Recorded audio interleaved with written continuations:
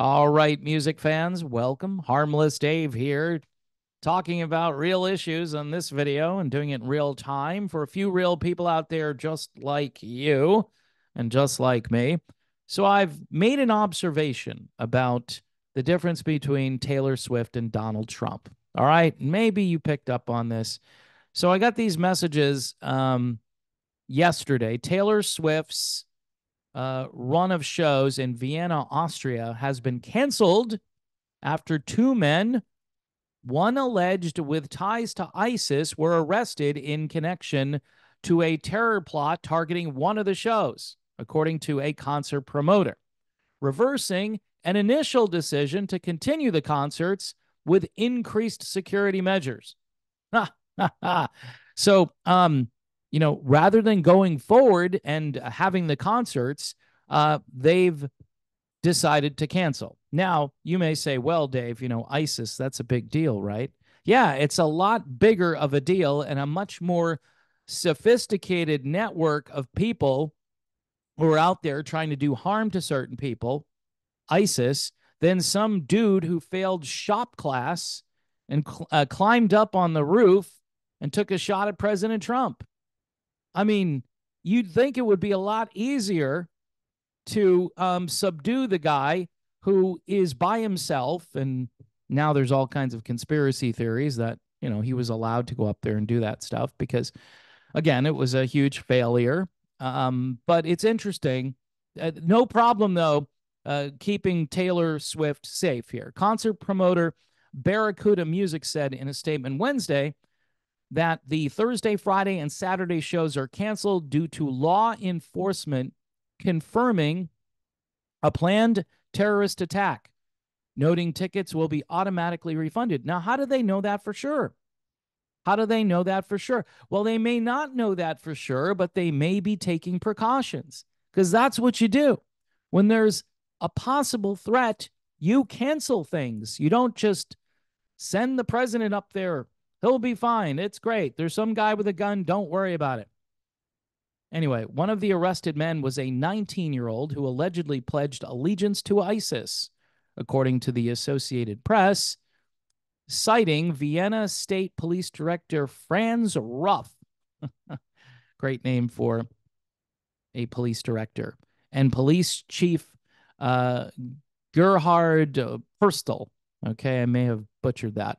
Ruf said both suspects are believed to have been radicalized on the internet.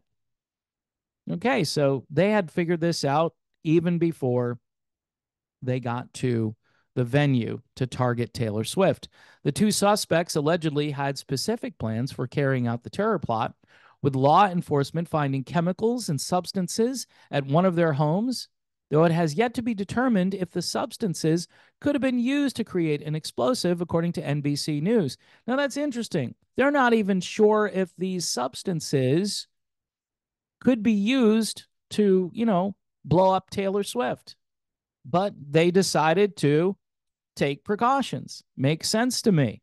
Don't have a problem with any of this. I'm glad they're protecting Taylor Swift, but they seem uh, to be protecting Taylor Swift in a more aggressive way than they are when it comes to Donald Trump.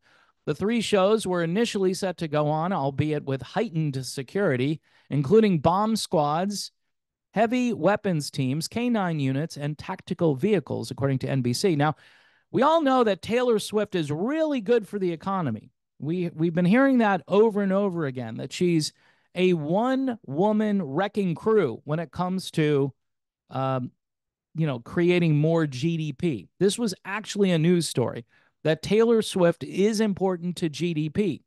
Now, not sure uh, if she's as important if she's over in Austria, but I'm thinking she's contributing to the world economy. And because we're all a bunch of globalists now, you know, tied together with uh, the same stupid policies around the world in most places, it's essential that Taylor Swift uh, do her shows. But in this case, they just didn't want to take a risk because they don't want to lose their cash cow here. And so they're protecting their, you know, GDP here by uh, canceling the shows. It's a short-term loss, but it will be a long-term gain And yes, the only time you really worry about terrorists is when they're going after a celebrity, when they're when they're about to, you know, take out Taylor Swift, and then it's all hands on deck. Former president of the United States, yeah, not a big deal.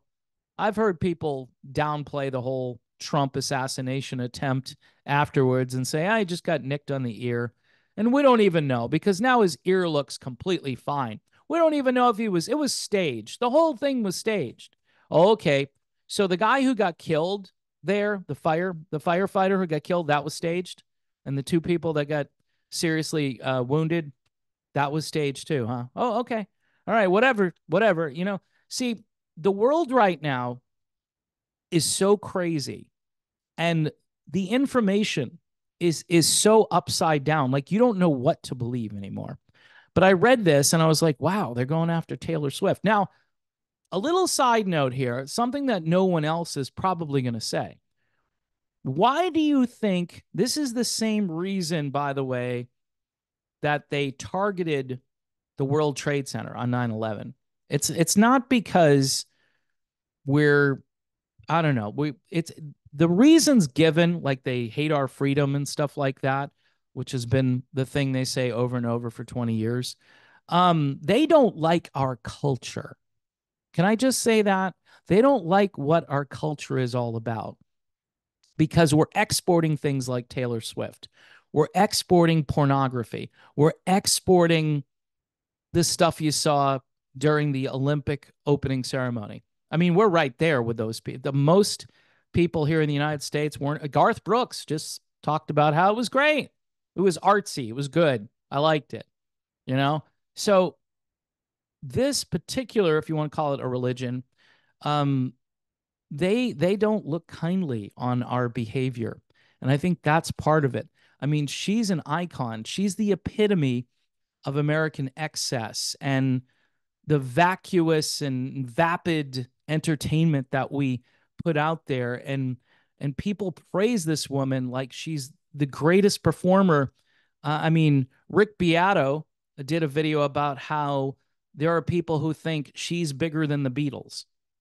She may be bigger than the beatles in some respects she's not better than the beatles all right this is a cultural retreat and these people in addition to hitting us in a way that would hurt our GDP, according to economists and political commentators. To not have Taylor Swift out there would be a blow to millions of people who um, live for things just like this and nothing else. Like their life doesn't have meaning unless they go see Taylor Swift or not having Taylor Swift out there, you know, would, would be very uh, traumatic for a lot of people. And it, it's sad. It's sad that we now take better care of celebrities. And I'm not saying Trump isn't a celebrity too. He is partially a celebrity. But it's interesting how we couldn't stop a 20 year old, but um, with with really just if you look at his background, which by the way, not a lot has come out on that guy. Uh, you would think you would know everything about him, you know, like down to when he was like two years old in the crib. You know, something something seems a little bit weird there. That's all I'm going to say. But this part about, um, you know, getting these terrorists, which is a lot more complicated, foiling a terrorist plot is a lot more complicated than stopping a lone wolf 20 year old shooter. So, anyway, um, I figured I'd give you my two cents on this. It's it's sad, and obviously I want Taylor Swift to be safe and just bring her back home. She's too important to the uh, GDP. And uh, terrorism is a thing. And it's not helpful that we don't have any foreign policy either right now. It's not helpful. There's no diplomacy. There's endless war. We need, we need to find a way not to make people ticked off at us. And yes, uh, this is a radical, small sliver of a religion that I don't agree with, but not all of it wants to, you know, do terrorism on people. In fact, the vast majority of it uh, just wants to be left alone. Like most human beings, they just want to live in peace. And uh, we're not pursuing that right now. We are pursuing endless conflict, endless drama. And I think people are just getting tired of it. I mean, it's drama fatigue, like I often say. All right, so here's an album you should check out. Jeff Larson. It's called Adobe Home. Uh, this has just a, a very nice, peaceful, quieting spirit to it, and you should check it out if you like that type of music. Adobe Home. Living in an Adobe home somewhere in the desert Southwest. Uh, sounds like a decent life. I think I would need air conditioning and lots of it, though. So thanks for watching. God bless everyone. Pray for peace around the world. Pray for your neighbors. Um, pray for everything. Pray without ceasing because our lives at this stage, I think, really depend on praying and then following up with good deeds and actions to help those people in need.